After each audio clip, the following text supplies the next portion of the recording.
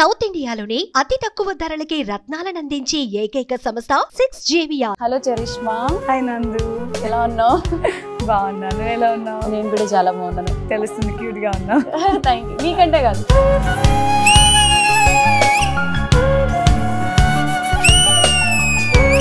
Negative roles అంటే బయట జనాలు ఎంత ఓన్ చేసుకుంటారంటే సీరియల్స్ని?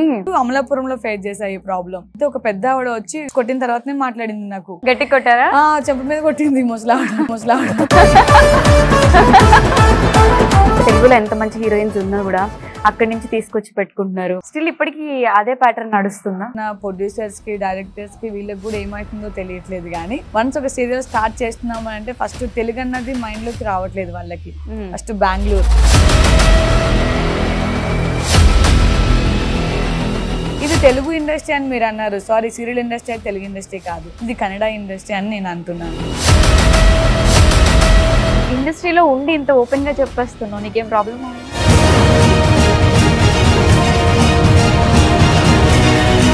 పిఠాపురం మీరు తిరుగుతున్నప్పుడు కింద కొన్ని వీడియోస్ కింద నేను కమెంట్స్ చూశాను. ఒక ఆడపిల్లని అంటున్నాము అంటే కొంచెం నోరు అంత అదుపులో పెట్టుకొని మాట్లాడాలి.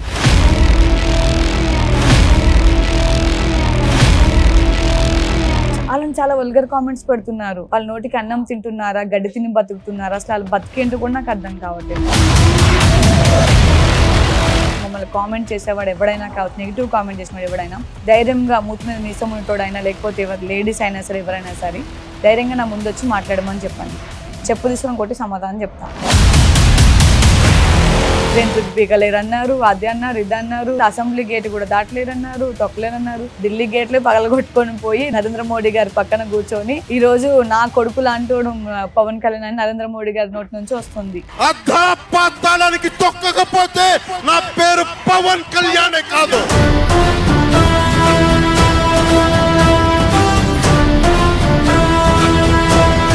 అప్పుడు కూడా అనుకున్నా మాకంటూ ఒక రోజు వస్తుంది. ఆ రోజు కోసం వెయిట్ చేయండి నా కొడకల్లారా అని అనుకున్నాను ఈ రోజే వచ్చింది ఇక్కడ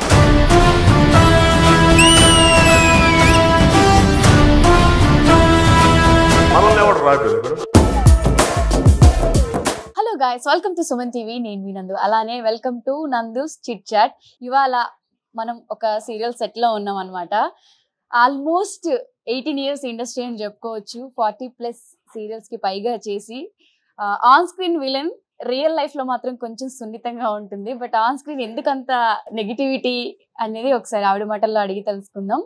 హలో చరిష్మా హాయ్ నందు ఎలా ఉన్నావు? బాగున్నాను నువ్వు ఎలా ఉన్నావు? నేను కూడా చాలా బాగున్నాను. తెలుస్తుంది క్యూట్గా ఉన్నావు. థ్యాంక్ యూ నీకంటే కాదు. అబ్బా. ఆఫ్టర్ ట్వంటీ ట్వంటీలో అనుకుంటా.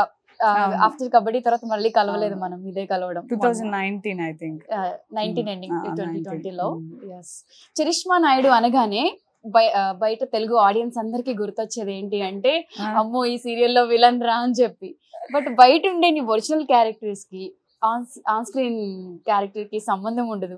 అండ్ ఇప్పుడు కూడా ఒక సీరియల్ చేస్తున్నావు దీంట్లో కూడా నెగిటివ్ రోలేనా? అన్నిట్లో నెగిటివ్ ఉంటాను. పాజిటివ్ కూడా అప్పుడప్పుడు ఎప్పుడో చేస్తుంటాను బట్ ఆల్మోస్ట్ అన్ని నెగిటివ్ క్యారెక్టర్స్ చేస్తుంటాను. ఓకే. అండ్ నేను కూడా ఇష్టపడేది నెగిటివ్ క్యారెక్టర్స్. అంటే మరి వాళ్ళకి కూడా ఏం తెలుస్తుంది నా ఫేస్లో? ఏం ఫ్యూచర్స్ కనిపిస్తున్నాయో తెలియట్లేదు కానీ ఐస్ వాళ్ళు అయితే ఎక్కువ పెడుతుంటారు నెగిటివ్ నేను ఆఫ్టర్ మరి వాళ్ళు ఎట్లా చూస్తున్నారని తెలీదు. బట్ అన్ని క్యారెక్టర్స్ నెగిటివ్ చేస్తుంటాను. ఓకే అంటే బోర్ రాదా? ఫార్టీ ప్లస్ సీరియల్స్ వరకు చేసి అదే విలన్గా కనిపించాలి అంటే? అంటే నేను ఒకటే త్రూ ఒకటే క్యారెక్టర్ చేయలే కదా. డాటర్గా చేశాను అండ్ సిస్టర్గా చేశాను దెన్ ఆఫ్టర్ హీరోయిన్గా చేశాను. తర్వాత విలన్గా చేశాను. ఇప్పుడు supporting characters and mother villain ఉంటది కదా. సో అలా చిన్నపిల్ల మదర్ ఇలా చేస్తూ ఉన్నాను ఇప్పుడు. ఓకే. సో ఒకటే క్యారెక్టర్ మనం కంటిన్యూ చేస్తుంటే బోర్ అనిపించేది. బట్ చాలా క్యారెక్టర్స్ ఉన్నాయి కాబట్టి దీంట్లో చాలా వేరియేషన్స్ కూడా ఉన్నాయి కాబట్టి. ఏం అనిపించలేదు. బట్ నేను కూడా ఎక్కువ లైక్ చేసేది విలనే హీరోయిన్గా చేస్తే ఏముంటుంది? ఏడవాలి లేదా నవ్వాలి. అది విలన్గా చేస్తే ఏడిపించవచ్చు నవ్వచ్చు ఇంకేమైనా చేయొచ్చు సాడీజం చూపించవచ్చు సో అన్ని షేడ్స్ ఉంటాయని చెప్పి నవరసాలు అంటే విలన్ క్యారెక్టర్లో ఉంటాయి. ఓకే. సో ప్రెసెంట్ ఏ ఏ సీరియల్స్ చేస్తున్నావు? ప్రెసెంట్ వచ్చి మొంటి వరకు రాజశ్రీ విలాస్ కాఫీ క్లబ్ చేశాను. ఇప్పుడు మా టీవీకి పాపిమా జీవన్ జ్యోతి చేస్తున్నాను. ఓకే దీంట్లో కూడా ఒక పాప మదర్ బాబు మదర్. బాబు మదర్. ఓకే సో ఇంత స్మూత్గా వెళ్ళిపోతున్న life almost eighteen years journey. Eighteen years అంటే చైల్డ్ ఆర్టిస్ట్ అని చెప్పుకోవచ్చు. చైల్డ్ యాక్టర్ గానే వచ్చాను. ఏజ్లో వచ్చావు ఇండస్ట్రీకి? థర్టీన్ ఇయర్స్ ఆ ఏజ్లో థర్టీన్ ఇయర్స్. సో ఇప్పుడు ట్వంటీ నైన్ అండ్ అప్పటి నుంచి కంటిన్యూ అవుతూనే ఉన్న దేవుడి దయ వల్ల ఎక్కడ స్టాప్ చేయలేదు. ఎక్కడ బ్రేక్ లేదు. అంటే బేబీ పుట్టినప్పుడు కూడా నైన్త్ మంత్ వరకు నైన్త్ మంత్ అంటే ఫైవ్ టు టెన్ డేస్లో డెలివరీకి ఉన్నానికి కూడా నా పేరు మీనాక్షి టీవీకి చేశాను. డెలివరీ టైం డెలివరీ టైమ్లో కూడా చేశాను. దెన్ ఆఫ్టర్ డెలివరీ అయిన వెంబడి ట్వెల్వ్ డేస్కి మళ్ళీ షూటింగ్ స్టార్ట్ చేశాను. గుండమ్మ కథ అండ్ అత్తారింటికి దారేది. ఎలా బా? బేబీ కేర్ కోసం ఆయన్ పెట్టుకున్నాను. లొకేషన్ లొకేషన్కి పాపని తీసుకొని వెళ్ళిపోతుండే. అంటే ప్రెగ్నెన్సీ టైంలో ఫీమేల్స్కి కష్టం కదా. అంటే సీరియల్ మనకి తెలియదు ఏముంది? ఎర్లీ మార్నింగ్ స్టార్ట్ అయితే మిడ్ నైట్ ప్యాక్ నైట్ వరకు ప్యాకప్ అవుతాయి. అంటే ప్రెగ్నెన్సీ టైంలో అదంతా బ్యాలెన్స్ ఆ టైంలో కూడా మార్నింగ్ త్రీ ఓ క్లాక్ వరకు చేసిన రోజులు ఉన్నాయి. ప్రెగ్నెంట్ నైన్త్ మంత్ ప్రెగ్నెంట్ ఉన్నప్పుడు కూడా మార్నింగ్ త్రీ ఓ క్లాక్ వరకు చేసి వెళ్ళి మళ్ళీ నెక్స్ట్ డే మార్నింగ్ కొంచెం ఒక one hour two hours late అంటే ఒక ఎయిట్ ఓ మనం రెగ్యులర్గా సిక్స్ ఓ క్లాక్ ఇట్లా వెళ్తాం కదా. అప్పుడు ఎయిట్ ఓ క్లాక్ ఇలా వస్తానని అడగడం. పర్మిషన్ తీసుకొని eight o eight o'clock వరకు వెళ్ళడం ఇలా జరిగేది. అంటే చాలా మంది ఇండస్ట్రీలో అంటారు కదా పెళ్ళైన పిల్లలు పుట్టినా కొంచెం గ్యాప్ ఇస్తారు ఆపర్చునిటీస్ రావు అని. బట్ నైన్త్ మంత్ ప్రెగ్నెంట్ అంటే ఆ క్యారెక్టర్కి అది ఎలా సెట్ అయింది? నా పేరు మీద విలన్ గానే ఎంటర్ అయ్యాను. సో అప్పుడు ప్రెగ్నెంట్ లేకుండే దెన్ ఆఫ్టర్ ప్రెగ్నెంట్ అప్పుడు లాంగ్ ఫ్రాక్స్ ఉంటాయి. ఇక్కడ వరకు సన్నగా ఉండి ఇక్కడ లాంగ్ ఫ్రాక్స్ ఉంటాయి కదా. సో ఆ ఫ్రాక్స్ వేసి కవర్ చేసేదాన్ని మొత్తం స్టమక్ని. అండ్ కెమెరా ఉన్నప్పుడు కూడా వన్ సైడ్ చున్నీ ఇట్లా పట్టుకొని యాక్ట్ చేయడం. అంటే స్టమక్ కూడా కనపడకుండా. ఇటు సైడ్కి ఈ లెఫ్ట్ ప్రొఫైల్ వచ్చేటప్పటికి ఇక్కడ సైడ్ చున్నీ ఇట్లా పెట్టుకొని యాక్ట్ చేయడం. ఇలా చేసిన ఉండే అప్పుడు. సో టీమ్ కూడా సపోర్ట్ చేస్తారు టీం కూడా నాకు చాలా సపోర్ట్ చేశారు. అర్క వాళ్ళు. ఓకే. Very nice. అసలు అంటే లెవెన్ డేస్ బేబీని తీసుకెళ్ళావంటే అసలు సెట్లో అది ఎలా పాసిబుల్ అవుతుంది? అంటే న్యూ మదర్ అంటే నైట్స్ స్లీప్ ఉండదు పిల్లల్ని. చూసుకోవడం. ఇవన్నీ ఉంటాయి కదా? అవును. బట్ తప్పదు. ఇంకా అంటే మనం మనసు ఒక ప్రాజెక్ట్ ఒప్పుకున్నామంటే దానికి న్యాయం చేయాలనేదే నా పాలసీ అన్నమాట. ఎప్పుడైనా సరే వన్స్ ఒక కమిట్మెంట్ ఇచ్చానంటే దాని మీదనే ఉంటాను. నేను ఏ ప్రాజెక్ట్ ఒప్పుకున్నా సరే. సో మనం సీరియల్ ఒప్పుకుంటున్నాము ఇంకోటి మనం గ్యాప్ తీసుకుంటే ఆడియన్స్ మైండ్లోకి మళ్ళీ వెళ్ళాలంటే చాలా టైం పడుతుంది. సో ఎందుకు ఎప్పుడు గ్యాప్ తీసుకోలేదు. ఆ ట్వెల్వ్ డేస్ తర్వాత మళ్ళీ మధ్యలో ట్వంటీ వన్ డేస్ కానీ పర్మిషన్ అడగడం మళ్ళీ ఫంక్షన్ చేసుకోవడం మళ్ళీ షూటింగ్కి వెళ్ళిపోవడం. అలా బేబీని ఇంకా బేబీకి మిల్క్ ఇవ్వాలన్నప్పుడు కూడా నాకు ప్రొడక్షన్ వాళ్ళు చాలా హెల్ప్ చేస్తుండే. సార్ బేబీ ఏడుస్తుంది మిల్క్ ఇచ్చొస్తాను అంటే వాళ్ళకు కూడా యాక్సెప్ట్ చేస్తుండే వాళ్ళు నాకు. చాలా సపోర్ట్ వాళ్ళంతా సపోర్ట్ వల్లనే నేను షూటింగ్ చేయగలిగాను. ఓకే. పాప. పాప కదా? ఆ పాప ఇయర్స్ ఇప్పుడు ఇప్పుడు? Seven years seven years వచ్చేస్తాయా? Seven years. వచ్చేసాయి అంటే సెట్లోనే పుట్టి సెట్లోనే పెరిగింది కాబట్టి. తను కూడా ఆర్టిస్ట్ చాలా యాక్టివ్ ఉంటుంది. అంటే ఆర్టిస్ట్. ఇంకా చేయలేదు తనని బట్ చాలా యాక్టివ్ ఉంటుంది తను. అవునా? అంటే చైల్డ్ ఆర్టిస్ట్గా ఇంకా? ఇప్పుడు ఏం స్టార్ట్ చేయలేదు. ఇన్. కేస్ ఏమైనా ఆపర్చునిటీస్ వస్తే తప్పకుండా చేపిస్తాను. అంటే. పెద్ద అయిన తర్వాత మనం కొన్ని కొన్ని చేయలేము. అలానే వాళ్ళు కూడా ఒప్పుకోరు. అంటే వాళ్ళ మైండ్ సెట్ కూడా చేంజ్ అవుతుంది. సో ఇప్పుడు వాళ్ళ మైండ్ సెట్ మన చేతిలో ఉంటుంది కాబట్టి నీ డ్రీమ్స్ ఏమున్నా నా డ్రీమ్స్ ఏమైనా ఉంటే అది ఫుల్ఫిల్ చేయవచ్చు. ఓకే. సో తర్వాత వాళ్ళ ఇంట్రెస్ట్. అంటే యాజ్ ఎ మదర్గా ఉంటుంది కదా నీకు కూడా. పాపని కూడా ఆర్టిస్ట్ చేయాలి అలా. నాకు చైల్డ్ యాక్టర్ అప్పుడు చేయాలని ఉంది. బట్ పెద్ద అయిన తర్వాత చేయాలని ఇంట్రెస్ట్ లేదు. అవునా? ఎందుకని? తెలీదు. ఇంకా అది వాళ్ళ ఇష్టం ఉంటుంది. అప్పుడు పెద్ద అయిన తర్వాత మన మాట వినేటట్లేదు. అంటే ఇప్పుడు మా జనరేషనే వినలేదు. అంటే లైక్ మన జనరేషనే వినట్లేదు. అప్పుడు నెక్స్ట్ జనరేషన్ వింటారని గ్యారంటీ ఉంది. సో వాళ్ళకి నచ్చినట్టు వాళ్ళు ఉంటారు అప్పుడు. ఓకే. నేను ఎక్కువ ఎడ్యుకేషన్ మీద ఇంపార్టెంట్ పెడదాం బేబీకి అని అనుకుంటున్నాను. ఎడ్యుకేషన్ మీద. ఓకే. నాకు ఎట్లా పెద్ద ఎడ్యుకేషన్ లేదు. అవునా? నేను ఓన్లీ టెన్త్ చదివాను. దాని ఆఫ్టర్ ఇంటర్ జాయిన్ అయ్యి మళ్ళీ స్టాప్ చేశాను అన్నమాట అంటే డిస్కంటిన్యూ చేశాను. అంటే మనకి సీరియల్స్ ఇదే సరిపోయింది. అప్పట్లో ఫ్యామిలీ ప్రాబ్లమ్స్ ఎక్కువ ఉండే అందరం చదువుకోవాలన్న ఇబ్బంది ఉండేది. మేము నలుగురు సిస్టర్స్ అన్నమాట. ఓకే. సో అందరికి చదివించాలి పెళ్ళిళ్ళు చేయాలంటే మమ్మీ డాడీకి కూడా చాలా కష్టం ఉండే. Mm. నలుగురు అమ్మాయిలే. నలుగురు అమ్మాయిలమే మేము. సో అప్పుడు డాడీకి మమ్మీకి మనం కూడా ఒక తోడుగా ఉండాలంటే మన. ఎడ్యుకేషన్ స్టాప్ చేసేసి ఏదైనా ఆఫ్టర్ సీరియల్స్ అండ్ ఆ వర్క్ అని ప్రతి ఒక్క పని చేశాను నేను. ఈ పని చేశాను ఈ పని చేయలేదని ఏం లేదు. ఇండస్ట్రీ బిఫోరా? ఇండస్ట్రీ అంటే చదువుకుంటూనే అన్ని పనులు చేస్తూ ఉండేవాళ్ళం. లైక్ బట్టల షాప్లో వర్క్ చేయడం ఎలక్ట్రీషియన్ షాప్లో వర్క్ చేయడం అండ్ అలానే కిరాణా షాప్లో వర్క్ చేయడం ఆల్మోస్ట్ అన్ని చేశాను నేను. నేను ఈ పని చేశాను ఈ పని చేయాలని ఏం లేదు. నాకు ఇప్పటికీ పొలం పని కూడా వస్తుంది నాకు. అన్ని పనులు చేయగలను నేను. అంటే ఆడపిల్ల అంటే ఓన్లీ ఆడపిల్లగా ఉండొద్దు. నువ్వు ఆడపిల్లవి కాదు. మొన్న బుల్లెట్ వేసుకుని వెళ్తుంటే చూసా మగరాయిలాగా జీన్స్ షర్ట్ అవును, నాకు బుల్లెట్ ఇష్టం యాక్చువల్గా నేను మా హస్బెండ్కి సర్ప్రైజ్ గిఫ్ట్ ఇచ్చాను కానీ తన వాడింది తక్కువ నేను వాడింది ఎక్కువ దానికి అవునా? బుల్లెట్ ఆల్మోస్ట్ నేనే వాడతా. షూట్స్కి కూడా నేను అదే వేసుకొని వచ్చేస్తుంటాను. లొకేషన్స్కి కూడా వేసుకొస్తావా లొకేషన్స్ కూడా వేసుకొస్తాను. వావ్. అసలు అంటే నీకు డ్రైవింగ్ ఎవరు నేర్పించారు? నేను ఆ బుల్లెట్ క్వశ్చన్ నేనే అడుగుదాం. అనుకుంటున్నా. మా హస్బెండ్ నేర్పించారు two thousand fourteen I think నువ్వు ఆయనకి గిఫ్ట్ ఇచ్చిన తర్వాత ఆయన బుల్లెట్ లేదు లేదు. ఫస్ట్ ఆయన నాకు బండి నేర్పించారు. తనది స్టార్ సిటీ ఉంటుండే బ్లూ కలర్ అప్పట్లో. టూ థౌజండ్ ఫోర్టీన్ ఆ టైంలో. సో తన ఇంకా లవ్లో ఉన్నప్పుడు నేర్పించాడు అనమాట అంటే ఎవ్రీడే నేను తను చూడడానికి ఇనార్బిట్ మాల్లో తను వర్క్ చేసేవారు అప్పుడు. నాకు శ్రావణ సమీర సూట్ అయిపోగానే ఎవ్రీడే నైట్ నైన్ ఓ క్లాక్కి మాదాపూర్ నుంచి ఇనార్బిట్ మాల్ వెళ్ళేదాన్ని. వెళ్ళి అక్కడ నా స్కూటీ వాళ్ళ కొలీగ్స్కి ఇచ్చేసి తన బండి మీద మా ఇద్దరం వచ్చేవాళ్ళం. నేను డ్రైవ్ చేస్తే నేను కూర్చునేవాడు. సో అలా అలవాటు అయింది బండి. దాని తర్వాత పల్సర్ నేర్చుకున్నాను. దాని తర్వాత ఇంకా డైరెక్ట్ ఇంకా ఇదే బుల్లెట్ ఇంకా. బుల్లెట్. అండ్ అందరూ వెయిట్ ఉంటది కదా నువ్వు అమ్మాయి కదా నువ్వు మొయ్యలేవు ఎందుకు ఎందుకని భయపెడుతుంటారు బట్ నేను భయపడాను. పడితే. ఒకసారి రెండు సార్లు పడతాం. పడ్డావా ఒకసారి పడతాం. కామన్ అది ఇంకా. అనుకోకుండా అవుతూ ఉంటాయి అలా అన్ని. అయినా మళ్ళీ అదే స్టార్ట్ చేయాలి మళ్ళీ. అంటే అది ఇలా మీద పడిపోతే దాన్ని బ్యాలెన్స్ హోల్డ్ చేయడం కష్టం. నేను బ్యాలెన్స్ చేసుకోగలను నేను. చేసుకోగలను. ఆ, నేనైతే balance దాని కింద పడిపోతా. మొన్న చూస్తున్నా నా కార్ ముందే వెళ్తున్నావు బుల్లెట్ తోటి వెనకాల. కాల్ చేద్దాం అంటే మళ్ళీ ఎందుకులే డ్రైవింగ్లో ఉన్నావు? చూడు ఎలా వెళ్ళిపోతుందో అసలు. ఆ అబ్బాయి లాగా Okay. అనుకున్నాం మేము. సో అంటే చిన్నప్పటి నుంచి హార్డ్ వర్క్ ఇవన్నీ ఉన్నాయి కాబట్టి ఆ బోల్డ్నెస్ కూడా వచ్చేసింది. అంటే ఈ హార్డ్ వర్క్ కూడా ఎట్లా అంటే ఫ్యామిలీ బ్యాక్గ్రౌండ్ నుంచి వస్తుంది. ఫ్యామిలీ చాలా పూర్ ఫ్యామిలీ ఉండే. ఊర్లో చూస్తే అమ్మ వాళ్ళ- అమ్మ? చాలా పూర్ ఫ్యామిలీ ఉండే. ఊర్లో చూస్తే కనీసం తినడానికి కూడా మనకి ఉండేది ఎక్కడ. అమ్మ వాళ్ళ ప్రాపర్ విజయనగరం జిల్లా అంటే ఒకప్పుడు శ్రీకాకుళం జిల్లా ఉండేది ఇప్పుడు విజయనగరం జిల్లా అయింది రాజాం. రాజాం మండలం నరసింహాపురం గ్రామం. ఒక పల్లెటూరు అన్నమాట చాలా. అంటే డాడీ ఏం చేస్తారు? డాడీ వచ్చి పెయింటింగ్ వర్క్ చేస్తుంటారు. మమ్మీ వచ్చి హౌస్ వైఫ్ ఉండే. సో చిన్నప్పుడు ఇంకా ఊర్లో ఇంకా బతకడానికి ఏం లేదు మనకి. లైక్ పొలాలు పండట్లేదు ఏం వర్షం లేదు ఏం లేదు. అలానే మనకి ఎవరు హెల్ప్ చేసే వాళ్ళు లేరు అప్పట్లో. సో ఏం చేయాలి? నలుగురు ఆడపిల్లలం. కంపల్సరీ నలుగురిని పోషించాలి. ఏం చేయాలని చెప్పి చిన్నప్పుడే అమ్మ వాళ్ళు మాకు హైదరాబాద్ షిఫ్ట్ అయిపోయారు ఇక్కడ బాబాయ్ వాళ్ళు ఉండే బాబాయ్ వాళ్ళు మమ్మీ వాళ్ళ బ్రదర్ వాళ్ళు ఉండే ఇక్కడ. సో వాళ్ళ హెల్ప్ తీసుకొని హైదరాబాద్కి షిఫ్ట్ అయిపోయాం చిన్నప్పుడు. సో అప్పటి నుంచి ఇక్కడ మనకి తోచిన పని బతకాలి కదా హైదరాబాద్లో రెంట్లు కట్టుకోవాలి అన్ని కట్టుకోవాలి కాబట్టి మనకి తోచిన పని మనం చేసుకుంటూ ఉండేవాళ్ళం అనమాట అంద అక్క చెల్లు అందరం నలుగురం నలుగు నాలుగు విధాలా కష్టపడ్డాం. చిన్న చెల్లి ఒక్క ఆమె చదువుకునేది. మిగతా ట్విన్ సిస్టర్స్ ఇద్దరు ఉన్నారు. వాళ్ళు కూడా ఒకరేమో రాశి వాళ్ళ ఇంట్లో ఉండే హీరోయిన్ రాశి గారు వాళ్ళ ఇంట్లో ఉండే ఇంకొకరేమో వాళ్ళ ఫ్రెండ్ వాళ్ళ ఇంట్లో ఉండే. సో అలా ఒకరొకరి ఇంట్లో పెట్టేసి ఒక హెల్పర్స్ లాగా పెట్టుకొని వాళ్ళ దగ్గర నుంచి వచ్చిన డబ్బులతో అలా ముందుకు అలా వెళ్ళే వాళ్ళం అందరం. అంటే ఇంటి ఫ్యామిలీ మొత్తం కష్టపడే వాళ్ళం అప్పుడు ఇప్పుడు దేవుడి దయ వల్ల నాకు దేవుడి దారి చూపించాడు. అండ్ బట్టల షాప్లో వర్క్ చేస్తుండే కానీ నాకు ఆపర్చునిటీ వచ్చాయి. ఇండస్ట్రీ ఆపర్చునిటీస్ వచ్చాయి. పక్కన తెలిసిన రైటర్ వాళ్ళు ఉండే.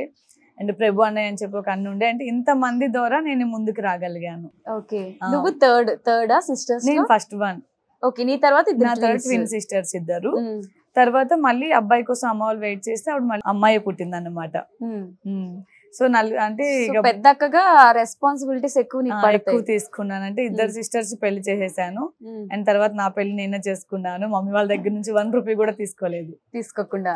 వన్ రూపీ కూడా మమ్మీ వాళ్ళకి మమ్మీ వాళ్ళ దగ్గర నుంచి తీసుకోలేదు. అట్లీస్ట్ ఇద్దరు సిస్టర్స్ పెళ్ళి చేశాక తర్వాత నువ్వు ఫస్ట్ ట్విన్ సిస్టర్లో చిన్న సిస్టర్కి పెళ్ళి చేశాను. దెన్ ఆఫ్టర్ అంటే మమ్మీ వాళ్ళ సపోర్ట్ కూడా ఉంది దాంట్లో. Not only my single hand daddy mummy అందరు సపోర్ట్ ఉంది. సో నా హ్యాండ్ కూడా వాళ్ళతో పాటు కలిపి ఒక సహాయం లాగా అంతే. నా పెళ్ళి చేసుకున్న తర్వాత మళ్ళీ ఇంకో ట్విన్ సిస్టర్లో పెద్ద చెల్లి పెళ్ళి అప్పుడు మళ్ళీ నా హ్యాండ్ కలిపిన ఇంకా ఫైనల్ లాస్ట్ సిస్టర్ వచ్చేటప్పటికి ఆల్మోస్ట్ నా హ్యాండ్ ఉంది. ఓకే ఇంకా అందరు పెళ్ళి బాధ్యత తీరిపోయింది ఒక అక్కగా. అక్కగా. అమ్మా కూడా. ఇప్పుడు హ్యాపీ నాన్నకి కూడా ఇక్కడ హైదరాబాద్లోనే ఇల్లు ఒకటి ఒక చిన్న సైజ్లో ఇల్లు ఒకటి కొనిపెట్టాను. ఇప్పుడు దాంట్ మమ్మీ వాళ్ళు దాంట్లోనే ఉంటున్నారు. ఓకే అండ్ సిస్టర్స్ కూడా పెళ్ళిళ్ళు అయిపోయినాయి కదా వాళ్ళకి ఏమైనా కష్టం సుఖం ఉంటే అక్క ఉంది అని నమ్మకం ఇచ్చాను అంతే. ఓకే గ్రేట్ అసలు. మీ హస్బెండ్ కూడా సపోర్ట్ చేస్తా హస్బెండ్ కూడా ఫుల్ సపోర్ట్ చేస్తారు. అంటే ఇప్పుడు ఫ్యామిలీకి చూసుకుంటూ అంటే అమ్మాయి తరఫు ఫ్యామిలీకి చూసుకుంటున్నా అంటే ఏ హస్బెండ్ అంత తొందరగా సపోర్ట్ చేయరు అవును బట్ నాకు తిని. సపోర్ట్ చేస్తాడు. అందులో ఇంతమంది ఆడపిల్లలు పెళ్ళిళ్ళు చేయడం అనేది ఎందుకంటే అక్కడ అబ్బాయిలు లేరు కాబట్టి అందరూ అమ్మాయిలమే కాబట్టి వాళ్ళకి ఏ కష్టం సుఖం వచ్చినా సరే హైదరాబాద్లోనే అమ్మ వాళ్ళు కూడా ఉంటారు అండ్ అత్త వాళ్ళు కూడా ఇక్కడే కాబట్టి ఎట్లాంటి అవసరం వచ్చినా హస్బెండ్ కూడా వెళ్ళి వాళ్ళకి హెల్ప్ చేస్తూ ఉంటాడు ఓకే ఆయన ఆయన కూడా వెళ్ళి అంటే. లైక్ పెద్ద కొడుకు లాగా అన్నట్టు ఇంటికి. ఓకే. ఏదైనా మమ్మీ వాళ్ళు కూడా ఫస్ట్ అతనికి ఇంపార్టెంట్ ఇస్తారు. ఇలా చేయాలి మహేందర్ ఇలా చేయాలి మహేందర్ ఏం చేద్దాం మహేందర్ అని ఫస్ట్ మహేందర్కి అడుగుతారు. ఓకే. ఆయన ఏం చేస్తుంటారు? ఆయన మాకు మిల్క్ ఏజెన్సీ ఒకటి ఉంది అది రన్ చేస్తుంటారు. అండ్ ఓన్ హౌస్ ఉంది రెంట్స్ వస్తూ ఉంటాయి ఓకే రీసెంట్గా వాటర్ ప్లాంట్ అది పెట్టాం అనమాట అవి చూసుకుంటారు అతను. నేను షూటింగ్స్ అంతే. సో అటు సిస్టర్స్ హ్యాపీ ఇటు అమ్మ వాళ్ళని కూడా సెట్ చేస్తావు ఫైనల్గా? ఫైనల్గా సెట్ చేసేసాను. ఉన్నంత వరకు అయితే ఓకే నాట్ బ్యాడ్ ఓకే. నీ స్టేటస్ కూడా చూస్తాను కాబట్టి ఎక్కడ ఏమి తక్కువ అయితే ఏం అనిపించదు. తక్కువ చేయను యాక్చువల్గా. ఓకే. ఉన్న దాంట్లో బతుకుతూ వెళ్తాను. అలా అని మనకి పేదరికం ఏదైతే వచ్చిందో దాన్ని మర్చిపోయి అయితే బతకను. దాన్ని గుర్తు చేసుకుంటూనే బతుకుతుంటాను సో ఇప్పుడు అమ్మ వాళ్ళంతా సెట్ చేసావు ఇదంతా okay fine. Well and good బానే ఉంది. ఇండస్ట్రీలో నువ్వు రాకముందు ఎన్నో స్ట్రగుల్స్ ఫేస్ చేసి ఉంటావు వచ్చి ఇన్ ఇయర్స్ ఇన్ ఇయర్స్ అయిపోయింది కాబట్టి ఈ మిడిల్లో మళ్ళీ ఫస్ట్ స్టార్టింగ్లో ఉన్న సిచ్యువేషన్ మళ్ళీ ఫేస్ చేయడం అలాంటి కష్టాల్లోకి మళ్ళీ వెళ్ళడం ఏమైనా జరిగిందా? లేదు. అంటే ఎందుకు లేదు అది కూడా చెప్తాను. ఎందుకంటే నా దగ్గర ఏం లేకపోయినా మహి సపోర్ట్ చేస్తాడు అండ్ మహి దగ్గర ఏం లేకపోయినా నేను సపోర్ట్ చేస్తాను కాబట్టి వన్స్ ఏదైతే స్ట్రగుల్ ఫేస్ చేశానో దెన్ ఆఫ్టర్ ఎప్పుడు ముందడుగు వేసానో తర్వాత నుంచి అంత స్ట్రగుల్ అయితే రాలేదు. చిన్న చిన్న ఒడిదుడుకులు అన్నాక వస్తూ ఉంటాయి అది కామన్. Any Hmm. ఫ్యామిలీ అది కామన్ అది. ఇంకా లైట్ తీసుకోవాలన్నమాట. ప్రతిదాన్ని సీరియస్ అయితే నేను తీసుకోను. ఓకే చాలా చిల్డ్గా వెళ్ళిపోతుంది ఇప్పుడు నీకు కష్టం వచ్చిందా? ఓకే నెక్స్ట్ ఏంటి? ఆ కష్టంని మనం క్లియర్ చేసుకోవాలంటే ఏం చేయాలి అనేది ఆలోచిస్తాను తప్పించి అమ్మ, ఈడ కష్టం వచ్చింది కానీ కూర్చోను. లవ్ మ్యారేజ్ కదా? లవ్ అరేంజ్డ్ లవ్ మ్యారేజ్ ఇంట్లో. ఒప్పుకున్నారు. ఇంట్లో అంటే చాలా కష్టంతో ఒప్పుకున్నారు. అవతల ఫ్యామిలీ అవతల ఫ్యామిలీ కూడా. అవునా? చాలా కష్టంగా ఒప్పుకున్నారు. అంటే నాకు నైన్టీన్ ఇయర్స్ ఉన్నాయి నా లవ్ ఉన్నప్పుడు ఆ టైంలో పేరెంట్స్ వినిపించుకునే సిచ్యువేషన్లో ఉండం. ఆ టైంలో మమ్మీ వాళ్ళు చెప్పిన ఏది వినం మనం అనుకున్నదే కరెక్ట్ అని చెప్తాం. బట్ వాళ్ళు మనం అనుకున్నది కరెక్ట్ అని ఈ రోజు నిరూపించుకున్నాం కానీ అయినా పేరెంట్స్ బెస్ట్ అని చెప్తారు. ఎందుకంటే వాళ్ళు వెనక తరాలు ముందు తరాలు అన్ని చూసి చెప్తారు. ఎవరు కరెక్ట్ ఎవరు కరెక్ట్ కాదు అన్నది. అండ్ వాళ్ళకు కూడా ఆడపిల్లలం కాబట్టి మనం భయం ఉంటది. ఒక ఆడపిల్ల ఇక్కడ నుంచి ఇంకో ఇంటికి అడుగు పెట్టాలంటే తనకి తనకి భద్రత ఉంటుందో లేదో. ఎలా ఉంటుందో ఆపోజిట్ పర్సన్స్ ఎలా చూసుకుంటారో ఇంట్లో అందరితో కలిసిమెలిసి ఉండగలుగుతుందో లేదో వాళ్ళందరూ ఈమెకి అలవాటు అవుతారో లేదో ఇన్ని ఆలోచనస్ పేరెంట్స్కి ఉంటది. ఆ టైంలో నేను పేరెంట్స్ని అర్థం చేసుకోలేకపోయాను. బట్ అయినా వాళ్ళు నాకు సపోర్ట్ చేశారు. అంటే ఒప్పుకోలే అమ్మ కూడా. మమ్మీ క్యాస్ట్ ఫీలింగ్స్ ఉండే అప్పట్లో. ఓకే. ఆ, మేము so Naidu inter caste marriage మేము నాయుడుస్ వాళ్ళేమో గోల్డ్ స్మిత్స్ ఇలా ఉండే. సో మమ్మీ వాళ్ళు అప్పుడు ఒప్పుకోలేదు. తర్వాత నానమ్మ తాతి వీళ్ళందరూ అమ్మ నాన్న ఒప్పించి కాలిగడ కన్యదానం కూడా తీసుకొచ్చి ఉమ్. నా ఫోటోలు ఒక్క ఫోటోలో మా పెళ్ళి ఫోటోలు ఒక్క దాంట్లో కూడా అమ్మ నవ్వదు అసలు. ఈ ముఖం ఇట్లా పెట్టుకునే ఉంటది. ఓకే. అండ్ డాడీ వాళ్ళు నార్మల్ గానే ఉన్నారు. బట్ ఇప్పుడు అమ్మనే అమ్మ నాన్న ఇద్దరు మంచిగా అంటే ఫ్యామిలీని రిసీవ్ చేసుకోవడం కావచ్చు వీళ్ళని వాళ్ళు వాళ్ళని వీళ్ళు మంచిగా ఉన్నారు Receive- అనమాట ఓకే మీ హస్బెండ్ గోల్డ్ స్మిత్ సో అందుకే. ఎక్కువ గోల్డ్ వేస్తూ ఉంటావు ఎప్పుడు చూసినా. కానీ వాళ్ళకి వర్క్ కూడా రాదు అసలు. అవునా? గోల్డ్ స్మిత్ అనే పేరుకే కానీ ఆ వర్క్ కూడా రాదు వాళ్ళకి. ఓకే. నేను అంటే అట్లీస్ట్ మీరు ఈ పని ఈ పని నేర్చుకునేది ఉండే మహి అని అంటే గానీ ఎందుకు రోజు వాళ్ళకి- ఒక జ్యువెలరీ వేసుకుంది అలానే కాదు. అంటే వాళ్ళ ఫ్యామిలీ మొత్తం ఆల్మోస్ట్ అదే ఉన్నారు. వాళ్ళ సిస్టర్స్ కావచ్చు అండ్ వాళ్ళ బ్రదర్ ఇన్ లాస్ కావచ్చు అందరూ అదే ఉన్నారు. కానీ వీళ్ళ ఫ్యామిలీ ఎవరికి రాదు. వీళ్ళ డాడీకి రాదు మహికి రాదు వాళ్ళ బ్రదర్కి ఎవరికి రాదు అసలు. ఓకే. ఆ వరకే రాదు. ఓకే. ఇప్పటి వరకు ఫార్టీ సీరియల్స్ చేస్తుంటావు కదా. ఈ ఫార్టీ సీరియల్స్లో నీకు బాగా నేమ్ తెచ్చిన సీరియల్స్ అంటే నీకు బాగా నచ్చే రోల్స్ ఏంటి? శ్రావణ సమీరాలు లక్ష్మీ కళ్యాణం అండ్ శశిరేఖ పరిణయం.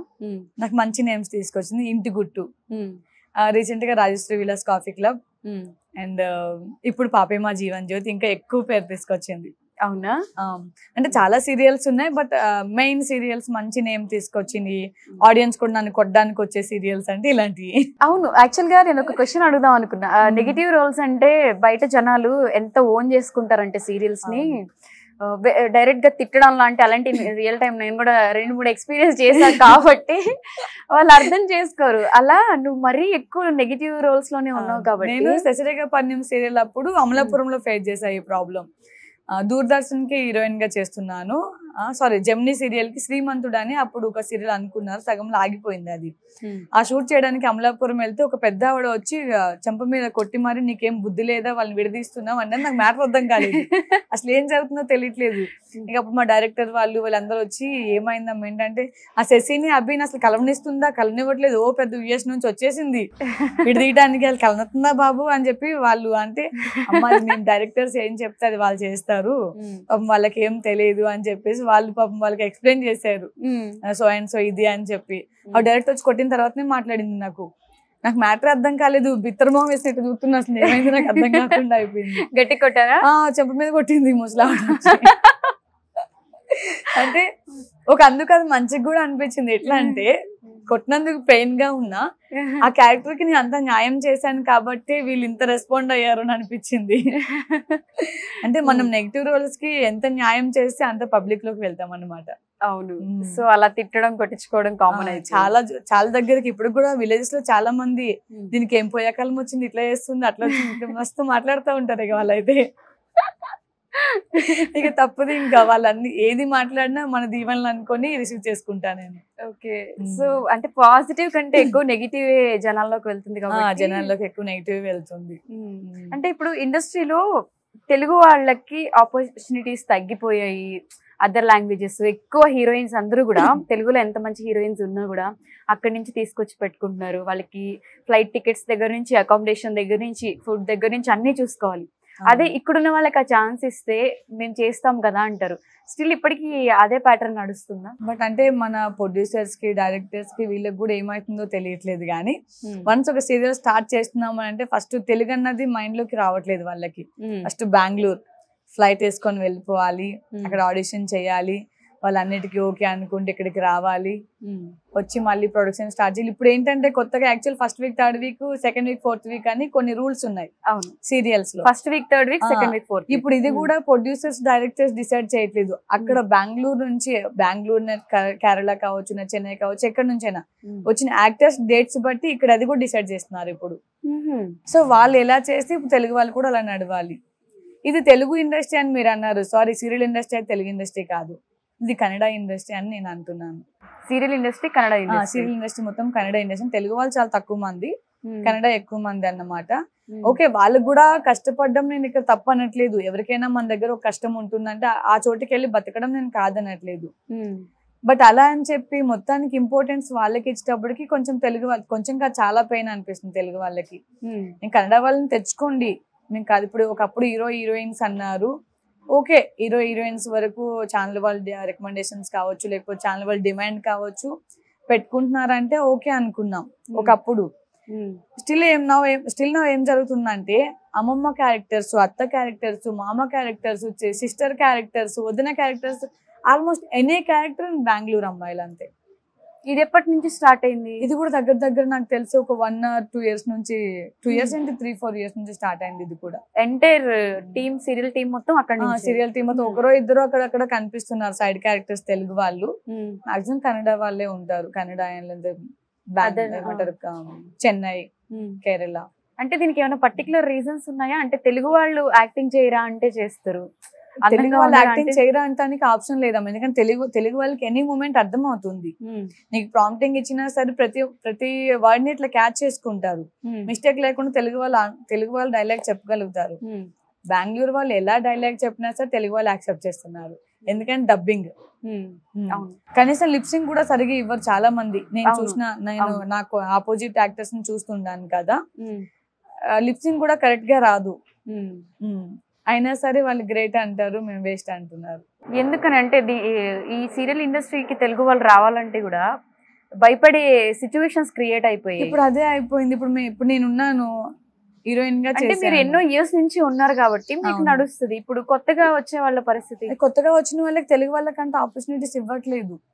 తెలుగు వాళ్ళు అంటేనే మీరు ఎవరు అంటే తెలుగు ఉమ్. నువ్వు తెలుగులో పుట్టి కన్నడలో పెరిగిరా నీకు ఆపర్చునిటీ వస్తుంది మళ్ళీ. ఉమ్. బెంగళూరులో పెరిగిరా మళ్ళీ నీకు ఆపర్చునిటీ వస్తుంది. ఓకే ఈ. లాజిక్ అసలు అంటే అదే అర్థం కావట్లేదు అంటే మేము చేసిన తప్పేంటా? మేము తెలుగులో పుట్టడమే పాపం చేసుకున్నామా? ఉమ్. యాక్టర్స్గా తెలుగు ఇండస్ట్రీకి వచ్చి తప్పు చేసుకున్నామా అని మాకు తెలియట్లేదు అసలు.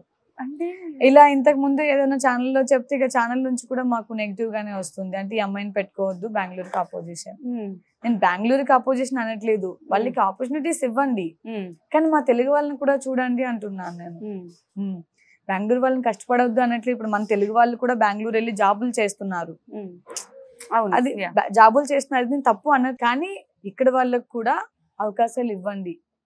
వాళ్ళు కూడా ఎన్నో సంవత్సరాల నుంచి వెయిట్ చేస్తున్నారు. ఒక చిన్న క్యారెక్టర్ వస్తే చాలు మా జన్మ ధన్యం అయిపోద్ది అంటే వెయిట్ చేస్తున్నారు. సో అలాంటి వాళ్ళకి కూడా అవకాశాలు ఇవ్వండి అని మా తెలుగు వాళ్ళకి చెప్పుకోదలుచుకుంది ఇదే.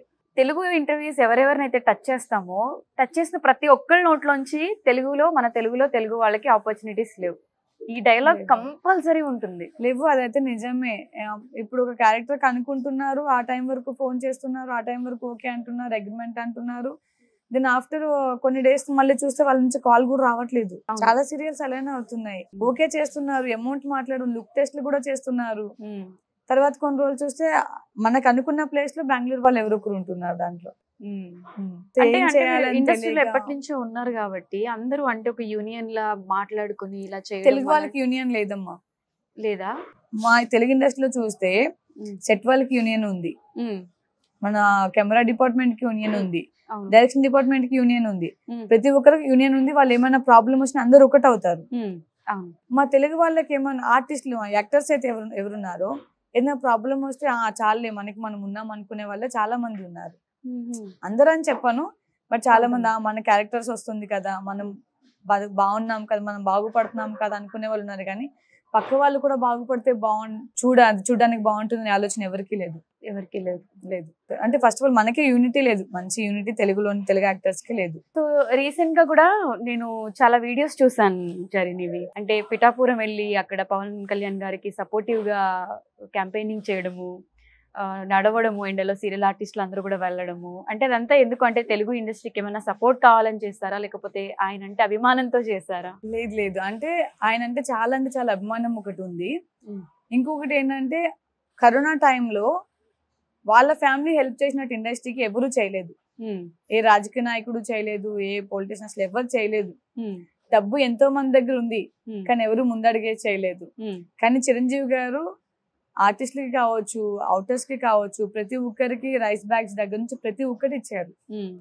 ఇదంతా అభిమానంతోనే చేసాం మేము. వాళ్ళ దగ్గర నుంచి ఏదో కొండలు ఆశించో లేకపోతే ఇంకొకటి ఆశించో కాదు. మాకు ఆశ అన్నదే లేదు. మీకు తెలిసి ఇప్పుడు నేను పవన్ కళ్యాణ్ గారిని కలవలేదు. దూరం నుంచి చూడడం తప్పించి ఈ రోజు వరకు కలవలేదు. కానీ ఆయన కోసం కష్టపడాలి. ఆయన కోసం ఏదో ఒకటి చేయాలనేది నా మైండ్లో చాలా స్ట్రాంగ్గా ఫిక్స్ అయి ఉన్నా ఉమ్, అనుకోకుండా అన్ఎక్స్పెక్టెడ్గా ప్రచారానికి వస్తావమ్మా అని ఒక కాల్ వచ్చింది. కాల్ రాగానే ఉరుక్కుంటూ వెళ్ళాను ఇంకా. ఇది నాకు అదృష్టంగా ఫీల్ అయ్యాను అది. ఆయన కోసం కష్టపడాలి. ఆయన కోసం ఏదన్నా చేయాలి మనం. అని చెప్పి అంటే ఆయన ప్రజల కోసం అంతా చేస్తున్నప్పుడు ఆయన కోసం మనం ఏదో చిన్న సహాయం లాంటిది. అనుకొని వెళ్ళాను అంతే. మంచి సమ్మర్లో వెళ్ళారు చూసాం ఎండకైతే అసలు నా మొత్తం ముఖం అంతే రెడ్ రెడ్ అయి ఉండేది. మార్నింగ్ ఈవినింగ్ రెండు పూట్లు వెళ్ళేదాన్ని. అంటే అందరూ డబుల్ డబుల్ వెళ్తుండే నాకు అలా లేదు. సింగిల్ గానే వెళ్ళేదాన్ని ఒక్కొక్క ఊరికి. పొద్దున్న ఒక మూడు వేలు గడప తిరుగుతుండే సాయంత్రం ఒక నాలుగు వేలు గడప అట్లా మొత్తం చాలా తిరుగుతుండే. ఓకే. చాలా టూ మచ్గా తిరిగాం. మార్నింగ్ ఈవినింగ్ మార్నింగ్ ఈవినింగ్ వేసుకున్న బట్టలు వేసుకున్న తడిచిపోయేటి అలా. మంచి సమ్మర్ మంచి సమ్మరు గాలి కూడా వచ్చేది కాదు అసలు. అమ్మో అంటే హైదరాబాద్ కంపేర్ చేసుకుంటే ఆంధ్ర చాలా వేడిగా. వేడిగా ఉంటుంది కదా. చాలా కష్టపడ్డాం. బట్ ఆయన పది సంవత్సరాల నుంచి పడే కష్టం ముందు మన మాది? పన్నెండు రోజుల కష్టం. ఎంత? ఆఫ్టర్ ఆల్ అని చెప్తాను నేనైతే. అవునా? నేను పడే కష్టం ఆఫ్టర్ ఆల్ ఆయనకి పడే కష్టం ముందు. ఎన్నో ట్రోల్స్ అంటే వెళ్ళొచ్చిన తర్వాత కూడా వెళ్తున్న ప్రచారంలో వీడియోస్ కూడా జనాలు అంటే ఒక పాజిటివ్కి ఎంత సపోర్ట్ ఇస్తారో తెలియదు కానీ నెగిటివిటీ మాత్రం చాలా ఈజీగా ఫాస్ట్గా స్ప్రెడ్ చేస్తారు. చాలా మంది చాలా చాలా వల్గర్ కామెంట్స్ పెడుతున్నారు. వాళ్ళ నోటికి అన్నం తింటున్నారా గడ్డి తిని బతుకుతున్నారా అసలు వాళ్ళు బతికేంటో కూడా నాకు అర్థం కావట్లేదు. అంత సెన్స్లెస్గా మాట్లాడుతున్నారు చాలా మంది యాక్చువల్గా కమెంట్స్ ఓపెన్ చేయగానే ఇప్పుడు నువ్వు ఏదైతే చెప్పావో ఆ. కమెంట్ ఫస్ట్ ఉంది. బట్ అది. చాలా సెన్సిటివ్ విషయం కాబట్టి నాకు అది అడగడానికి కూడా మేబీ నాకు నోరు రాలేదు ఇప్పుడు ఇప్పుడు కూడా చాలా స్ట్రాంగ్గా చెప్తున్నా. ఎవరికైనా సరే మమ్మల్ని కామెంట్ చేసేవాడు ఎవడైనా కావచ్చు నెగిటివ్ కామెంట్ చేసినవాడు ఎవడైనా ధైర్యంగా ధైర్యంగా మూతి మీద మీసం ఉన్నటోడైనా లేకపోతే ఎవరు లేడీస్ అయినా సరే ఎవరైనా సరే ధైర్యంగా నా ముందు వచ్చి మాట్లాడమని చెప్పండి. చెప్పు తీసుకొని కొట్టి సమాధానం చెప్తాను అరే సో అండ్ సో ఇది నేను. నేను ఇది నా బిహేవియర్ ఇది నా బుద్ధి ఇది. మీకు ఏం తెలుసు అని మాట్లాడుతున్నారని చెప్పు తీసుకొని కొట్టే మాట్లాడతాను నేనైతే. బట్ వాళ్ళకి ధైర్యం లేదు కాబట్టి ఎక్కడో దూరంలో ఏమంటారు గుంటనక్కల్లాగా చూస్తూ చూస్తూ కామెంట్స్ పెడుతున్నారు అంతే. పిఠాపురం ఏరియా మొత్తం కూడా పవన్ కళ్యాణ్ గారిని ఎంత ఓన్ చేసుకున్నారు అంటే మీరు ఒక కోటి రూపాయలు ఇస్తే తీసుకుంటామండి. ఆపోజిట్ పార్టీ ఎవరున్నారో బట్ మా ఓట్ పవన్ కళ్యాణ్ గారికి ఒక కిలో గోల్డ్ ఇస్తే చాలా మంది ప్రజలు మాకు అదే నమ్మకం ఆ నమ్మకంతోనే అన్ని గడపలు తిరిగే తిరగలిగాం మేము. వాళ్ళు ఎట్లాంటి పిఠాపురం జనమంతా మీరు ఏం టెన్షన్ పడకండి అమ్మా మీకు ఎందుకు భయపడుతున్నారు? పవన్ కళ్యాణ్ మా నాయకుడు మా కొడుకు మా అన్న మా తమ్ముడు మా పవన్ కళ్యాణ్ గారిని మేము గెలిపించుకుంటాం. మీరు బాధపడకండి. ఆయన దయ వల్ల ఇప్పుడు మిమ్మల్ని కూడా మేము చూడగలుగుతున్నాం. ఇప్పుడు మిమ్మల్ని మీరు చూ మేము చూడాలనుకుంటే హైదరాబాద్కు రావాలి షూటింగ్ లొకేషన్స్కు రావాలి. అలాంటిది మీరే ఆయన దయ వల్ల మా గుమ్మంకి వస్తున్నారు మీరు. మా గుమ్ మా గుమ్మంకి వచ్చి ఆయన కోసం ప్రాధాయపడుతున్నారు. సో మీరు ఇంత కష్టపడినప్పుడు మేము మా ఇల్లు దాటి రెండు అడుగులు వేసి ఓట్ బూత్ వరకే లోటేసి రాలేము అని అంటున్నారు వాళ్ళు. ఓకే. అక్కడ అక్కడ అంతా మొత్తం ఆయనకి అందరు జనసేననే. జై పవర్ స్టార్ పవన్ కళ్యాణ్ జై జనసేన. ఇదే ఒక మాటనే వస్తుంది అందరి నోటిన. అంత మంచి కామెంట్స్ ఇచ్చారు. అందరు అంటే మంచి రెస్పాండ్ అయ్యారు అందరూ. చాలా ప్రేమగా చూసుకున్నారు. ఆంధ్రలో ప్రేమలు ఎక్కువ అనడానికి మన జన సైనికులు మాత్రమే. అవునా? చాలా ప్రేమ చూపించారు. ఇంకా జన సైనికులు అంటే మేము ఇలా ఉంటామని చూపించారు వాళ్ళు. ఓకే. సో నెగిటివ్ ట్రోల్స్ చేసిన వాళ్ళకి నెగిటివ్ కమెంట్స్ పెట్టిన వాళ్ళందరికీ చెప్పుతో కొట్టినట్టుగా తప్పకుండా. నెగిటివ్ కామెంట్ చేసిన ప్రతి ఒక్కడికి చెప్తున్నాను. వాళ్ళ అమ్మని అక్కని దృష్టిలో పెట్టుకొని లేదా పిల్లం ఉంటే పిల్లాన్ని దృష్టిలో పెట్టుకొని పక్క వాళ్ళని మాట్లాడాలనే చెప్తున్నాను. ఒకవేళ ధైర్యం ఉంది నా ముందుకు వచ్చి మాట్లాడే ధైర్యం ఉందా? నా ఇంటి అడ్రస్తో చెప్తాం వచ్చి మాట్లాడండి. ఇంకా అంతే. ఓకే. అంత ధైర్యం లేదు. ఇప్పుడు నాకు కూడా నా నా ఏరియాలో నాకున్న పలుకుబడి నాకు ఉంటది. ఇప్పుడు నా నేనైతే హైదరాబాద్లో ఉన్నాను. నాకున్న బలగం నాకు నాకున్న పలుకుబడి నాకు ఉంటది. ఇప్పుడు నాకు ఇండస్ట్రీలోనే ఎవరేమైనా అనాలంటే కొంచెం ఆలోచించి మాట్లాడతారు. ఎందుకు ఈ అమ్మాయితో పెట్టుకోవడం అవసరమా. ఏదున్నా ఇడ్చి పడేస్తుంది అన్నట్టే ఉంటది. అలానే నా దగ్గరకు వచ్చి మాట్లాడి చూడండి ఒకసారి. మీరు ఎక్కడో ఉండి కామెంట్ చేయడం కాదు. ఓకే దగ్గరకు వచ్చి మాట్లాడమంటున్నా అంతే. అలానే పవన్ కళ్యాణ్ గారి గురించి కూడా మాట్లాడారు. ఎన్ని మాట్లాడినా సరే మాటలు అక్కడ వరకు ఆగిపోయాయి. మా వరకు డీకోన్ లేకపోయారు ఎవ్వరు కూడా. వెంట్రుకు పీకలేరు అన్నారు అది అన్నారు ఇది అన్నారు గేట్లు దాటలేరు అన్నారు ఓ చాలా మాటలు. అసెంబ్లీ గేట్ కూడా దాటలేరు అన్నారు తొక్కలేరన్నారు. ఢిల్లీ గేట్లే పగలగొట్టుకొని పోయి నరేంద్ర నరేంద్ర మోడీ గారి పక్కన కూర్చొని ఈ రోజు నా కొడుకులు అంటోడు పవన్ కళ్యాణ్ అని నరేంద్ర మోడీ గారి నోటి నుంచి వస్తుంది. నేనైతే ఇక ప్రమాణ స్వీకారం కోసం ఎప్పటి నుంచి వెయిట్ చేస్తున్నాను? కొన్నిదన్న పవన్ కళ్యాణ్ అనే నేను అన్న మాట కోసం అయితే కొన్ని సంవత్సరాల నుంచి వెయిట్ చేస్తున్నాను నేను. ఆయన కోసం అప్పట్లో కూడా నేను ఇంటర్వ్యూలు చేసినప్పుడు కూడా అప్పట్లో కూడా చాలా ఇంటర్వ్యూస్ ఇచ్చాను పవన్ కళ్యాణ్ గారి గురించి. అండ్ నెగిటివ్గా అనే వాళ్ళకి గట్టిగా మాట్లాడిన ఉండే అప్పుడు కూడా. అప్పుడు కూడా అనుకున్నా మాకంటూ ఒక రోజు వస్తది. ఆ. రోజు కోసం వెయిట్ చేయండి. నా కొడకల్లారా అని అనుకున్నాను. ఈ రోజు ఈ రోజే వచ్చింది. అంతే. ఆ. రోజు ఈ రోజు కోసం వెయిట్ చేసాం మేము అంతే. ఇప్పుడే వచ్చారు కాబట్టి అప్పుడే ఇంకేం చేయలేదు ఇంకేం చేయలేదు ఇంకేం చేయలేదు అని ఆడియన్స్ అస్సలు అనొద్దు. ప్రజలందరికి చెప్తున్నా ఇది. ప్రతి ఒక్క దానికి టైం పడుతుంది. ఇంకా మనకి ఫైవ్ ఇయర్స్ ఉంది కాబట్టి ఫైవ్ ఇయర్స్లో ఒక్కొక్కటి ఒక్కొక్కటి ఒక్కొక్కటి అన్ని పథకాలు వాళ్ళు నెరవేర్చుకుంటారు నెరవేరుస్తారని నమ్మకం నాకుంది. అండ్ మనం కూడా అదే నమ్మకం పెట్టుకోవాలి. ఉమ్. రాగానే అన్ని అయిపోవాలంటే కాదు టేక్ సమ్ టైం. టైం పడుతూ ఉంటుంది కాబట్టి టైం తీసుకుంటారు వాళ్ళు కూడా. ఉమ్, ఇగో మీ పవన్ కళ్యాణ్ గారు ఇన్ని హామీ ఇచ్చారు మీ చంద్రబాబు నాయుడు గారు ఇన్ని హామీ ఇచ్చారు తీర్చట్లేదు అనకండి. ఓకే. వాళ్ళు కూడా ఇప్పుడే కదా. అవును. అంటే ఇన్ని సంవత్సరాలు ఒకరి చేతిలో ఉంది మన ప్రభుత్వం. ఇప్పుడే మన చేతికి వచ్చింది. దాన్ని మొత్తం క్లారిటీగా చూసుకోవాలి. ఎక్కడ ఏ ప్రాబ్లం ఉంది ఎవరికి ఏ సమస్య ఉంది అన్ని క్లారిటీగా చూసుకొని చేయాలి కాబట్టి. వాళ్ళకంటూ కొంచెం టైం ఇవ్వండి. ఎవరు నెగిటివ్గా అర్థం చేసుకోకండి. అంతే చెప్పగలుగుతున్నాను సో పవన్ కళ్యాణ్ గారి సక్సెస్ని మీ సక్సెస్గా ఫేస్ చేసి అందరూ మొన్న సెలబ్రేషన్స్ చాలా సెలబ్రేట్ చేసుకున్నాను అయితే. ఇంట్లో కూడా పర్సనల్గా రిలేటివ్స్ అందరిని పిలిచాను ఫ్రెండ్స్ని పిలిచాను పవన్ కళ్యాణ్ గారికి కేక్ తినిపిస్తూ ఆల్రెడీ మీరు చూసే ఉంటారు వీడియో. పవన్ కళ్యాణ్ గారికి కేక్ తినిపిస్తా కేక్ నేను తింటూ ఫుల్ ఎంజాయ్ చేసిన ఆ రోజు. నైట్. త్రీ ఓ క్లాక్ వరకు ఫుల్ కేక్ కటింగ్స్లోనే ఉన్న ఆ రోజు అయితే అదే. రోజు నా మ్యారేజ్ డే కూడా వచ్చింది. అవును. సో అది నేను పక్కన పడేసిన. మ్యారేజ్ మ్యారేజ్ డే అన్నదే నాకు గుర్తులేదు. ఉమ్, గెలిచిన గెలిచాడు ఇంక మొత్తం డిక్లైన్ చేసేసారు. ఉమ్, అయిపోయింది. గెలిచేసాం అనేటప్పుడు చూడాలి. ఇంకా నేను మైస్ గంట తీసుకుపోయి కారు అక్కడ. ఇలా. మా అమ్మోళ్ళు కదా పెద్ద. బర్డ్ అయిపోయినా నేను ఇక. ఓకే సో ఇప్పుడు చరిష్మాకి ఇప్పటికిప్పుడు పవన్ కళ్యాణ్ గారు ఇలా కళ్ళ ముందుకు వస్తే. నీ రియాక్షన్ ఏంటి? ఆయనతో ఏం నా మాట్లాడారు రియాక్షన్ ఏం లేదు. నా గుండె ఎక్కడ ఆగిపోతున్నా భయం ఎందుకంటే మూమెంట్ కోసం వెయిట్ చేస్తున్నాను నేను చాలా ఇయర్స్ నుంచి. బట్ వాంటెడ్లీ వెళ్ళాలని ఏ రోజు ట్రై చేయలేదు. అవకాశం వస్తే వెళ్దామని అయితే కూర్చున్నాను. ఇన్ కేస్ అదే అవకాశం వస్తే నా జన్మ ధన్యం ఇంకా నాకు ఇంకా నా లైఫ్లో ఏది బెస్ట్ మూమెంట్ ఉంటుంది అది ఒకటే బెస్ట్ మూమెంట్ ఉంటుంది. ఓకే. అంటే ఆయనకు అనిపిస్తే ఏం మాట్లాడతాయి అంటే ఒకటి ఉంటది కదా ఆయన ఇంతలా అభిమానించి ఆయన కోసం ఇవన్నీ చేశారు కాబట్టి ఆయన కనిపిస్తే పలానా ఇది మాట్లాడాలి అని చెప్పి. ఆయన కనిపిస్తే ఏం మాట్లాడాలి అనుకోని ఒకటే ఒకటి చెప్తాను. మనం ప్రజలకు ఏమైతే హామీలు ఇచ్చామో అది ఒక్కటి నెరవేర్చుకుందాం మన పేరు నిలబెట్టుకుందాం అని మాత్రం చెప్తాను. అంతకు మించి నాకేమొద్దు. అతని దగ్గర నుంచి నాకు పర్సనల్గా అంటే ఏమొద్దు.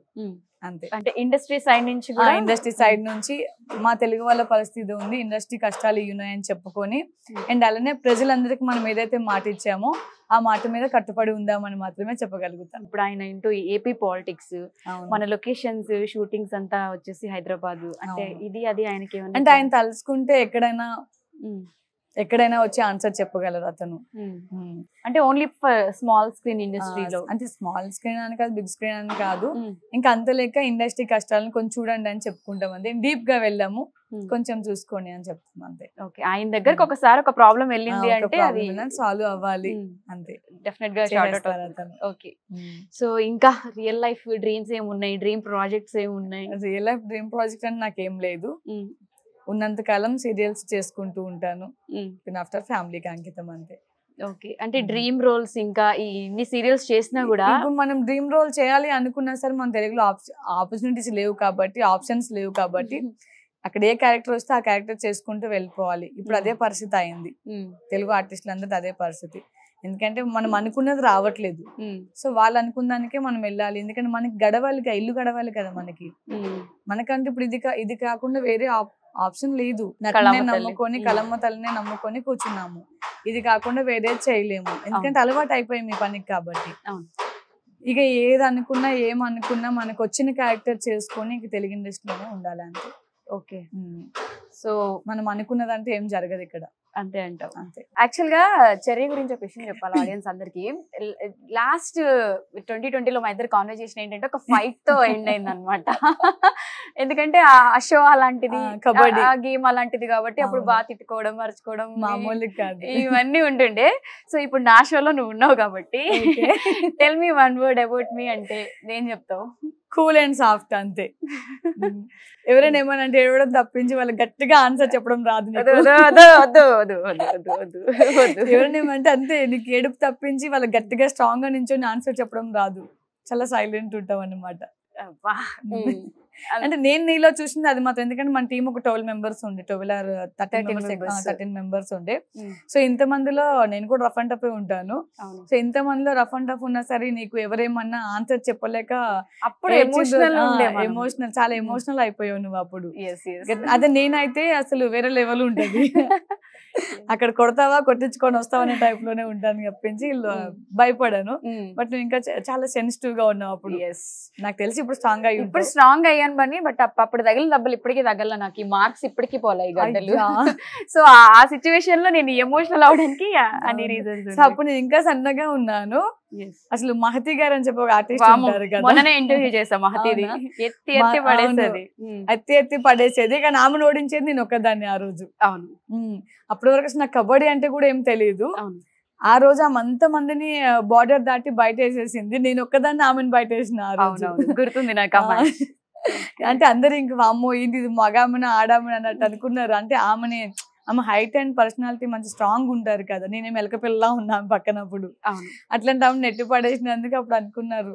అమ్మో ఈ ఏంది అబ్బాయిలాగా మొత్తం చేస్తుంది అట్లా అనుకున్నారు అనమాట అక్కని కొంచెం హ్యాండిల్ చేయడం చాలా కష్టం. కష్టం. బట్ ఆమె డేర్ అండ్ డాష్ ఉంటది. నాకు అది కూడా చాలా ఇష్టం ఆమెలోని.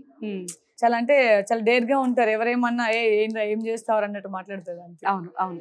మగరాయిడే యాక్చువల్లీ అలానే ఉండాలి ఆడపిల్ల. సైలెంట్గా ఉండి సెన్సిటివ్గా ఉంటే లీనియన్స్గా తీసుకుంటున్నారు అందరూ. సో అలా కాకుండా స్ట్రాంగ్గా ఉంటేనే అమ్మాయి ఎప్పుడైనా ముందడుగు వేయగలదు ఓకే. భయపడితే అసలు వెనకడుగు ఎప్పుడు ఆడపిల్లకి వేయొద్దనే చెప్తాను నేను. ఎవరైనా సరే. ఓకే. ఇప్పుడు ఇచ్చే పేమెంట్స్లోనే జ్యువెలరీస్ మొత్తం ఇవన్నీ అంటే నాకు మళ్ళీ ఈ క్వశ్చన్ నీకు తెలుసు కదా అని నన్ను అడగొద్దు. చాలా. మంది డౌట్ ఉంటది. వీళ్ళకి ఏంటి పేమెంట్స్ బాగా వస్తాయి హైఫై లైఫ్ అని చెప్పి. బట్ ఇచ్చే పేమెంట్లోనే జ్యువెలరీస్ అసిస్టెంట్ ఇవన్నీ కూడా అన్ని దాంట్లోనే ఉంటాయి. అసిస్టెంట్ వచ్చి సపరేట్ ఉంటుంది. కొంతమంది దాంట్లో ఇంక్లూడింగ్ మాట్లాడుకుంటారు కొంతమంది సపరేట్ మాట్లాడుకుంటారు. బట్ మాకు ఇచ్చిన పేమెంట్లోనే కాస్ట్లీ కాస్ట్లీ పట్టు సారీస్ కావాలంటారు ఏమైనా అకేషన్స్ వస్తాయి. Every day compulsory four to five six six saris వరకు డ్రెస్ చేంజ్ ఉంటాయి ఒక్కొక్కసారి. సో కంటిన్యూటీ ఉంటే కంటిన్యూ ఉంటే అవుతాయి లేదంటే. ఫ్రెష్ సారీస్ కట్టాలి. వన్ డే లో ఎన్ని చీర ఎన్ని చీరలు మారుస్తాం కూడా మాకు కనీసం లెక్క కూడా ఉండదు. ఉమ్, అన్ని మనమే తెచ్చుకోవాలి. మనకి. ఇచ్చిన సాలరీలోనే మనకి ఇచ్చిన జీతంలోనే. జ్యువెలరీ దగ్గర నుంచి చెప్పుల దగ్గర నుంచి మేకప్ సామాన్ల దగ్గర నుంచి అన్ని కొనుక్కోవాలి. అన్ని దాంట్లోనే ఇంక్లూడింగ్ ఇంకా. చరిష్మా మంత్లీ ఇన్కమ్ ఎంత వస్తుంది అంటే ఏం చెప్తావు? ఇన్కమ్ అంటే ఇప్పటి రోజుల్లో ఏం లేదు మనకి. ఒకప్పుడు అంటే ఈటీవీ చేసినప్పుడు పాత అంటే ఓన్లీ తెలుగు వాళ్ళకి ఎక్కువ ఇంపార్టెన్స్ ఉన్న రోజుల్లో at least one and half lakh two lakh అయినా చేసేవాళ్ళం. రెండు రెండు సీరియల్స్ అట్లే కలిపి. మనకి దాంట్లో సగం కాదు కదా పావు సగం కూడా రావట్లేదు. ఇప్పుడా? అస్సలు. అయినా కానీ మరి ఎందుకు అప్పటికి ఇప్పటికి అమౌంట్లు కూడా తగ్గించేశారు. తగ్గించేసారా యాక్చువల్లీ సీనియారిటీ పెరుగుతున్న కొద్ది అమౌంట్లు ఎక్కువ తీసుకుంటారు. బట్ అప్పటికి ఇప్పటికి అమౌంట్లు కూడా తగ్గించేశారు. ఉమ్. ఇప్పుడు ఏదైనా ఒక ప్రాజెక్ట్ ఒప్పుకున్నామంటే అమ్మాయి అంత బడ్జెట్ లేదమ్మా అని సింపుల్ ఒక మాట అనేస్తున్నారు అంతే. ఓకే. అంత బడ్జెట్ లేదమ్మా ఇంతే ఉంది. మీకు చేస్తారు నచ్చితే చేయండి. లేకపోతే నెక్స్ట్ ఆప్షన్ అంతే. అంత డిమాండ్ అయిపోయింది ఇప్పుడు అంతా సో పవన్ కళ్యాణ్ గారికి నువ్వు చాలా పెద్ద ఫ్యాన్ కాబట్టి ఆయన ఒక డైలాగ్ చెప్తావా ఆడియన్స్ కోసం? అంతేనా? సో సీరియల్స్లో విలన్గా చేస్తూ ఉంటావు కాబట్టి ఏదైనా ఒక చిన్న విలన్ డైలాగ్. ఇక్కడ మా నా సీరియల్లోనే చిన్నత్తయ్య గారు పెద్ద కోడలు. యాక్చువల్ నా కాంబినేషన్ చిన్నత్తయ్య గారు ఉంటారు దీంట్లోని. మా ఇద్దరం కలిపి ఒక అమ్మాయిని కుట్టి అన్న అమ్మాయిని ఎప్పుడు సాధిస్తుంటాం. Kutti and Jyothi mother and daughter వాళ్ళు. వాళ్ళని సాధిస్తుంటాము. సో నేను మేము వేసుకున్న ప్లాన్స్ ఇట్లా ఉంటాయి అన్నమాట చిన్నత్తయ్య గారు ఎలా అయినా ఈరోజు ఆ కుట్టిని ఏదైనా ఒకటి చేయాలి. లేకపోతే మన మాటే వినట్లేదు. అది కాదు చిన్నత్తయ్య గారు. నేను ఒకటి చెప్తే మీరు ఒకటి చెప్తారు. నాకైతే ఈరోజు అది చేసిన పని ఏ మాత్రం నచ్చలేదు. ఎలా అయినా ఈరోజు దాన్ని ఏదో ఒకటి చేయాలి. ఈ రేంజ్లో ఉంటాయి అన్నమాట నువ్వు ఇప్పటి వరకు మాట్లాడిన దానికి ఇప్పుడు ఏదో చంద్రముఖి తిప్పేస్తున్నావు. అందుకే నీకు నెగిటివ్ రోల్స్ ఇస్తున్నట్టున్నారు అవును ఎక్కువ ఐస్ అటు ఇటు తిప్పుతా ఉంటాయి ఎక్కువ. నెగిటివ్ రోల్స్ అంటే ఆల్మోస్ట్ అలానే ఉంటుంది. ఓకే సో ఫైనల్గా నీ సీరియల్ ఫ్యాన్స్కి కానివచ్చు ఆడియన్స్కి కానివచ్చు నువ్వు ఏదైనా చెప్పాలి అనుకుంటే ఏం చెప్తావు? చాలా మంది తెలుగు ఇండస్ట్రీలోకి ఎలా అయినా వద్దాం అనుకుంటున్నారు. సీరియల్స్ కావచ్చు మూవీస్ కావచ్చు. అన్నిటికీ వచ్చే ముందు వెనక ముందు రెండు ఆలోచించుకొని రండి. ఎందుకంటే ఎన్నో సంవత్సరాల నుంచి కష్టపడిన వాళ్ళకి ఈ రోజు ఆపర్చునిటీస్ దొరకట్లేదు. సో ఇప్పుడు కొత్తగా వచ్చిన వాళ్ళకి దొరుకుతాయని నమ్మకం అయితే లేదు. అంత ఓపెన్ ఇండస్ట్రీలో ఉండి ఇంత ఓపెన్గా. చెప్పేస్తున్నావు. నీకేం ప్రాబ్లం అవుదా? ఎందుకు ప్రాబ్లం అవుతుంది? ఉన్నమాట చెప్తున్నాను. లేనిది నేను లేనిది తీసుకొచ్చి క్రియేట్ చేయట్లేదు కదా. ఉన్న మాట చెప్తున్నాను. ఎందుకంటే ఇప్పుడు ప్రస్తుతానికి ఆపర్చునిటీ చాలా తక్కువ ఉన్నాయి. అవకాశాలు రావట్లేదు. సో అలాంటప్పుడు దీంట్లో ప్రయత్నించి టైం వేస్ట్ చేసుకునే కన్నా మనకి రోజు గడవాలి అన్నా మన ఇల్లు గడవాలి అన్నా దీని బదులు ఇంకోటి చేసుకుని ఇంకోటి చూసుకుంటే బెస్ట్. సో అటు ఇటు బ్యాలెన్స్ చేసుకోవాలంటే అంతే. అటు ఇటు బ్యాలెన్స్ చేసుకోవాలి. ఇన్ కేస్ నీకు ఇది ఇంట్రెస్ట్ ఉంది నువ్వు ఎట్లైనా చేయాలి అనుకుంటే ఇటు ట్రై చేస్తూ వేరే జాబ్ చేసుకోవాలి తప్పించి మొత్తం ఫోకస్ దీని మీద పెట్టి ఉండొద్దు. ఓకే. ఇది ఎప్పుడు ఉంటుందో తెలియట్లేదు ఎప్పుడు వెళ్ళిపోతున్నాయో తెలియదు ఏ సీరియల్ ఎప్పుడు క్లోజ్ అవుతుందో తెలియట్లేదు. సడన్గా చెప్తున్నారు సీరియల్ క్లోజింగ్ కూడా. మనకి ఒకప్పుడు అయితే వన్ మంత్ టూ మంత్స్ ముందు అమ్మ ఇది క్లోజ్ అవుతుంది నెక్స్ట్ మీరు ఏదైనా ఏదైనా చూసుకోండి అని చెప్తున్నారు. ఇప్పుడు అలా లేదు. మార్నింగ్ డేట్ చెప్తున్నారు బిఫోర్ నైట్ మొత్తం షూటింగ్ అయిపోయింది శుభం కార్డ్ చెప్తున్నారు ఇంకా. అంటే సడన్ సడన్గా. సడన్ సడన్గా చెప్తున్నారు. అడగడానికి ఇప్పుడు మనకి ఏం ఏం లేదు అసలు. అడిగే హక్కులు కూడా లేవు ఎవరికి. ఉమ్. ఎక్కువ మాట్లాడతావా క్యారెక్టర్ రిప్లేస్మెంట్ చేయాలి నెక్స్ట్ క్యారెక్టర్ పెట్టుకోవాలి. ఉమ్. అంతే. నువ్వు ఎక్కువ మాట్లాడవద్దు ఏం చెప్తే అది వినేటట్టు ఉండాలి. ఇక్కడ మిస్టేక్ ఉన్నా మిస్టేక్ అని చెప్పొద్దు. ఇలానే ఉండాలి అంతే. ఒకవేళ ఏమైనా చెప్పావా నువ్వు నెక్స్ట్ డే నీ క్యారెక్టర్ ఉండదు ఇంకా సీరియల్లో. అంతే ఉంటుంది. భయపడతారు ఇప్పుడు చాలా మంది ఆడియన్స్ ఇంటర్వ్యూ చూసాక డెఫినెట్గా. ఇవి మా కష్టాలు ఏం చెప్తాం? ఎన్ని సంవత్సరాలు బట్టి ఇండస్ట్రీలో ఉన్నాము. ఇంతకు ముందు ఎలా ఉంది ఇప్పుడు ఎలా ఉంది? మా బాధలు ఎవరికి చెప్పుకొని ఎవరికి అర్థం కావట్లేదు. యూనియన్లో పోయి కంప్లైంట్ చేసి మాట్లాడినా ఎవరు సరిగా రెస్పాండ్ అవ్వట్లేరు ఎవరికి వాళ్ళే యమునా తీరులా ఉన్నారు.